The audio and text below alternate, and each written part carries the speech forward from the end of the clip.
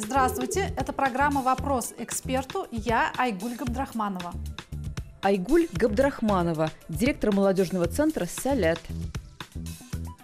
Мой ребенок не знает татарского языка, но очень хочет попасть в лагерь «Салят». Есть ли возможность у таких детей поехать в лагерь? Или знание татарского – это обязательное условие?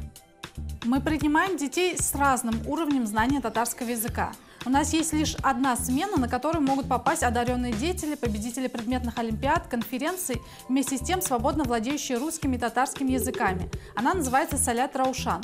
Во все остальные профильные смены в этом году вместе с форумными сменами, а их всего 33, попадают дети с разным уровнем знания языка. На входе мы никогда не спрашиваем уровень владения языком. Это могут быть и свободно говорящие на татарском дети, и вообще не знающие языка на сегодня. Важное условие – желание изучать язык.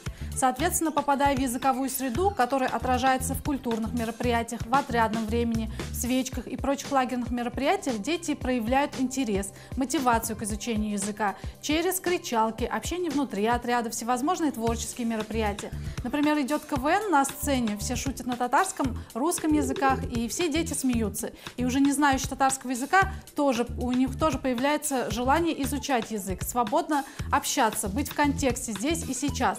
В Салят считается, что татарский и русский языки – это дополнительный ключ к огромному количеству языков. Не зря появилась пословица «Чем больше языков ты знаешь, тем ты богаче. Наша цель – создать среду, в которой ребенок может начать изучать языки и погрузиться в языковую среду.